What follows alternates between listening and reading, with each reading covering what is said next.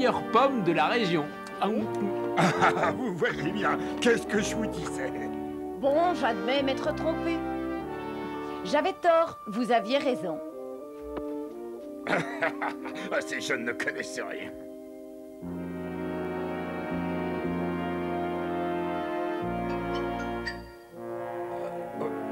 Eh, eh, les gamins, revenez ici Vous vous êtes moqués de moi Revenez ici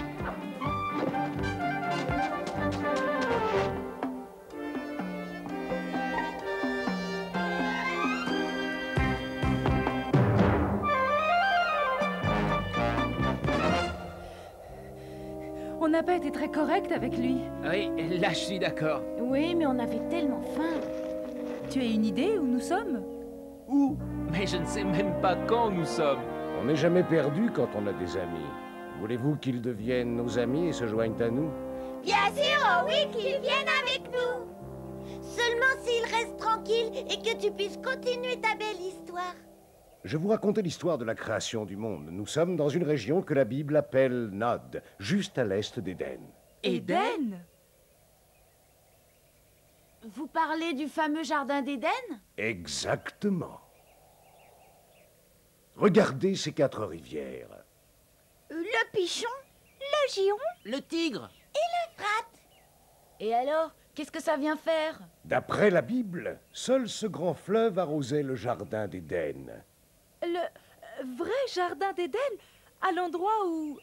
Là où tout a commencé. mais, mais, mais je croyais que c'était des histoires pour les enfants. Non, il nous racontait la véritable histoire. Arrêtez de parler et écoutez, oh. Oh, excusez-moi, vous pouvez continuer. Nous en étions au moment où Dieu avait fini son travail, le sixième jour. Et ensuite, il prend un jour de repos. Parce qu'il est fatigué d'avoir créé l'homme. Et il n'y a pas de femme Oui, et si on parlait de nous? Oui, j'allais y venir, justement. Dieu avait prié Adam non seulement d'entretenir le jardin, mais aussi de donner un nom à tous les animaux et oiseaux de la création. Adam leur trouva des noms, ceux que nous connaissons aujourd'hui. Tu es si beau et si gracieux que tu seras... Tu seras le cygne. Toi, tu seras un cerf. Et toi, un cheval. Et toi, quel nom vais-je te donner? Euh... Oh, une autruche. Oui, c'est ça. Ah, ça te va très bien. Oh, ce n'est pas très facile.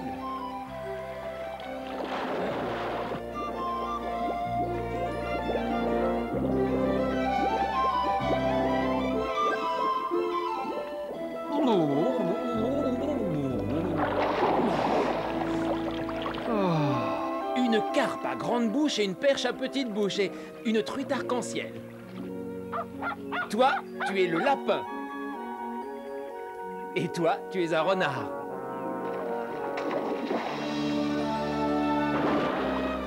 Non, non, non, non, ces noms ne vous conviennent pas du tout. Toi, tu seras le renard et toi le lapin. Toi, tu seras un chat. Et ton ami le chanteur sera un, un canari. Non, non, non, non, non, non, ça colle pas du tout. Je connais pas de chats et de canaris qui font copain-copain, ça j'en suis sûre. À cette époque, il l'était, jeune homme. Depuis, les choses ont changé. Ça va être la suite de mon histoire. Toutes les créatures du Jardin d'Éden vivaient en paix, entre eux et avec Adam, à l'exception d'un seul. Celui-là était la plus rusée et la plus méchante de toutes les créatures de Dieu. Le serpent.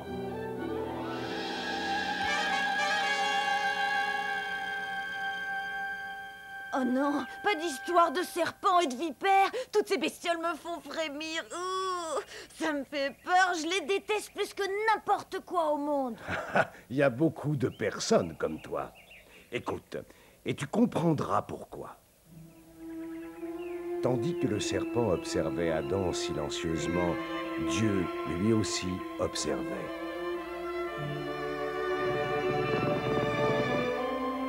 Chacun a besoin d'un compagnon. D'un compagnon qui lui ressemble. Adam avait choisi les noms de tous les animaux et de tous les oiseaux, mais il se sentait désespérément seul, personne à qui parler. Alors Dieu fit en sorte qu'il plongea dans un profond sommeil.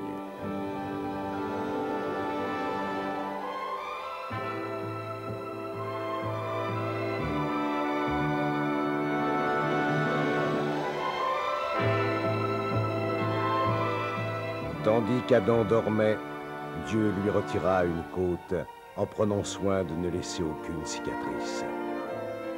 Avec la côte qu'il avait enlevée à l'homme, il créa la femme.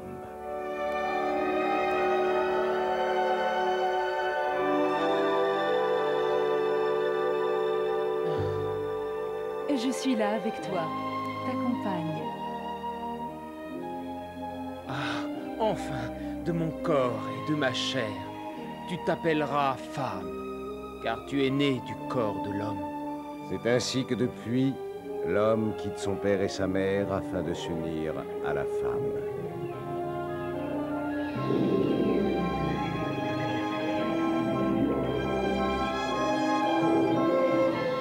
Au milieu des animaux, ils vivaient nus, eux l'homme et la femme, et n'en éprouvaient aucune gêne.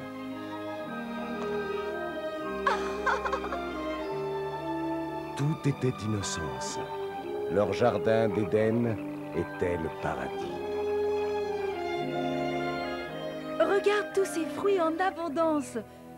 Je vais en goûter quelques-uns. Non Ève, non Qu'est-ce qui t'arrive? Dieu, pardonne-moi. Qu'y a-t-il, Adam? Qu'as-tu fait? Il ne s'agit pas de ce que j'ai fait, mais de ce que je n'ai pas fait. J'ai oublié de te parler de cet arbre et de ses fruits.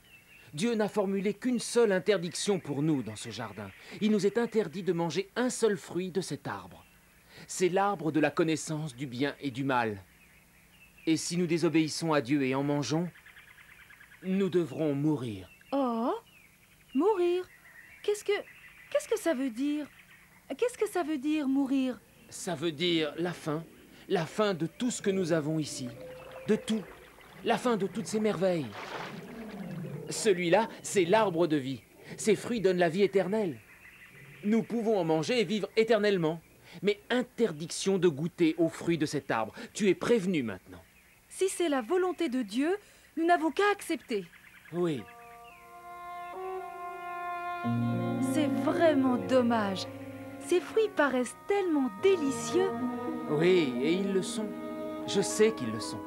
Si, si, de cet arbre sont délicieux.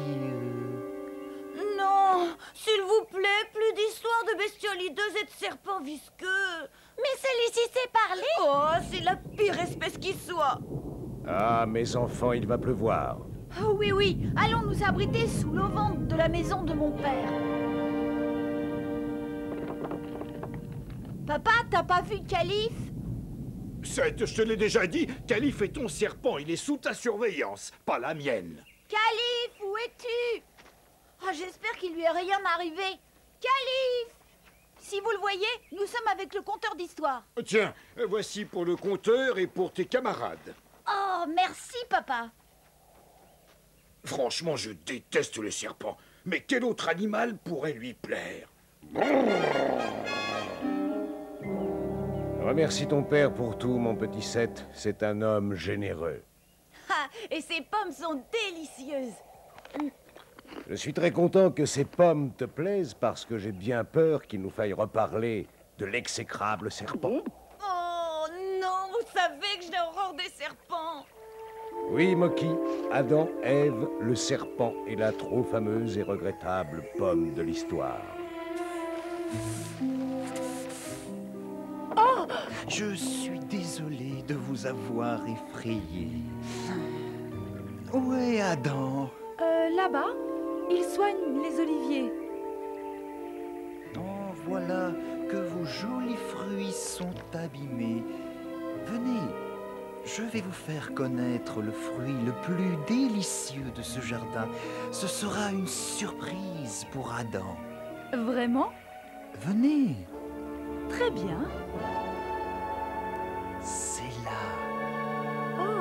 C'est le seul arbre du jardin auquel on ne peut pas toucher. Il s'agit du fruit défendu. Dieu vous a-t-il dit qu'il est interdit de manger les magnifiques fruits de ce jardin? Sûrement pas. Nous pouvons manger tous les fruits de ce jardin, à l'exception de ceux de l'arbre qui se trouve au milieu. Dieu nous a interdit aussi bien de toucher que de manger les fruits de cet arbre. Car si nous le faisons, nous mourrons. Vous croyez à ces sottises.